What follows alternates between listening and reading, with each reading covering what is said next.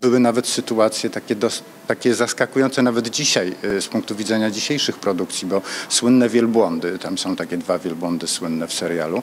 E, ja je zobaczyłem na wystawie jakiegoś sklepu pamiątkarskiego w Warszawie, gdzie wyglądały kompletnie idiotycznie, no bo Warszawa, e, sklep pamiątkarski, coś tam stoi jakiś żołnierz powstaniec, coś i nagle dwa wielbłądy takie drewniane i tak sobie zapamiętałem to jako absurd, taki widoczek absurdalny, ale potem potrzebowałem czegoś, czym Piotr by zaskoczył Magdę, no i gdzieś mi wjechały te wielbłądy do głowy i jak wpisałem je w scenariusz, to wpisałem dokładnie w scenariusz też adres sklepu, y, gdzie, gdzie je widziałem. I rzeczywiście produkcja poszła do tego sklepu i kupili dokładnie te wielbłądy, które były tam wpisane, więc e, to, to pokazuje, jak bardzo rzeczywiście wszyscy, wszyscy tam pracowali do jednej bramki i ta relacja i kontakty z aktorami y, były rzeczywiście takie bezpośrednie, bo mm, y, Bartek Świderski na przykład dzwonił do mnie